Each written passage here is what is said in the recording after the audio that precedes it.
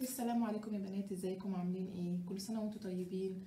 النهارده عاملكم فيديو مخصوص عشان أكلمكم عن حاجة إيه، في بنات عارفاها وفي بنات ما تعرفهاش ودخلوا يسألوني عنها وهي الديرما رولر.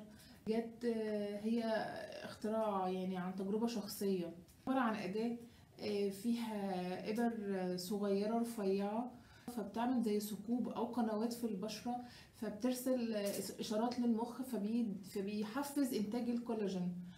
قبل ما نستخدمها إزاي لازم تش... الأول تختاري مقاس كوي... مناسب لبشرتك. ف...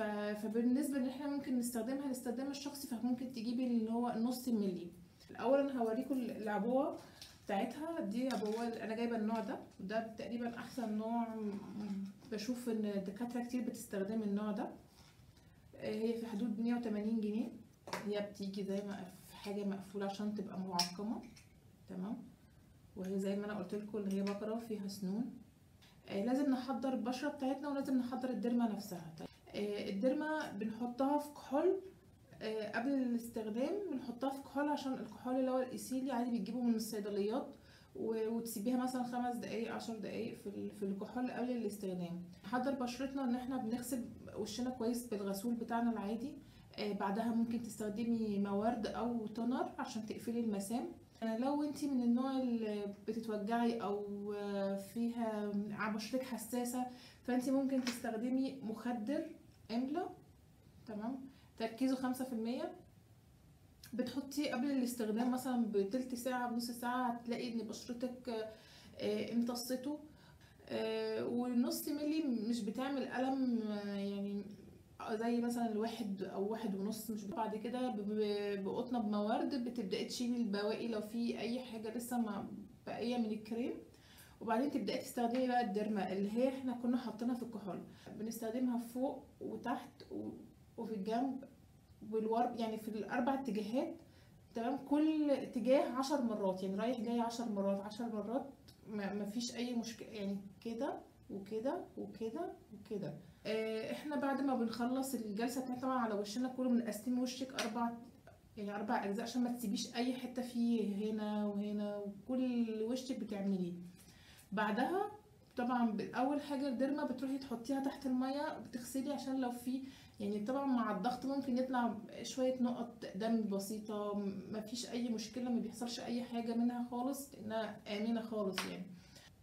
هتحطيها تاني في الكحول عشان خاطر آه، تتطهر. بس طب إحنا بشرتنا بنمسحها تاني بقطن موارد ال derma بتكون بقى زي ما أنا قلت لكم بتبقى عملت قنوات أو ثقوب في البشرة بسيطة خالص. فاحنا ممكن أي سيرم مفيد للبشرة أي vitamin C serum بتاع لوريال آه، أي زيوت آه، زي جوجوبا زيت الشاي أي أي زيوت طبيعية حطيتيها على بشرتك بشرتك يعني هتستفيد منها جدا. نستخدمها مثلا كل مرة في كل شهر تقريبا كل ثلاث أسابيع على حسب أنتي بشرتك تقبلتها ولا في حصل فيها التهاب ولا حصل فيها إيه؟ آه، هتحسي إن شوية في حرقان آه هتحسي إن شوية وشك ملتهب هتحسي إن هو وجعك شوية بس بعد شوية بساعات أو تاني يوم بالكتير قوي هتلاقي وشك مفيهوش أي مشكلة وهتحسي بال... بالنتيجة مرة في مرة يعني هتحسي إن وشك فعلا اختلف. آه، ال derma roller بتعمل تحفيز. طبعا زي ما أنا قلت الكولاجين بتاع البشرة بيدي نضارة آه، لو في آثار حبوب بتقللها لو في آثار كلف لو في سيلولايت بت... بتقلل الشكل بتاعها ال stretch marks كل الحاجات ديت هي بتساعد إن هي تقلل المظهر وبتجمله هي بالنسبة للعيوب هي ممكن تكون إن انت بتستخدميها مثلا بعد 8 10 مرات ممكن بتستخدميها. يعني بعد كده ما ينفعش تستخدميها. هتحسي إن.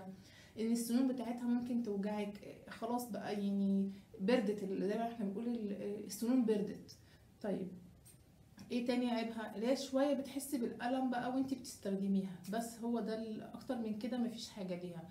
أول حاجة لو انت already بتتعالجي من الحبوب أو في حبوب عندك فيها نشطة لسه فيها حبوب يعني ما ينفعش خالص آه، ان انت بت آم، بتستخدمي أو بتعملي جلسات ليزر ما ينفعش مع ال derma roller بار تستخدميها خالص. بعد ما بنستخدم الجلسة ما ينفعش ان انت تستخدمي تحطي ميك اب لمدة 24 ساعة بعد الجلسة عشان وشك يعتبر لسه يعني متفتح زي ما بيقولوا كده. بالنسبة للتجربة الشخصية أنا بالنسبة لي أنا بنصحكم بيها. لو في أي سؤال أو أي استفسار ممكن تسيبولي في الكومنتات وأنا إن شاء الله أرد عليكم بس كل سنة وأنتم طيبين.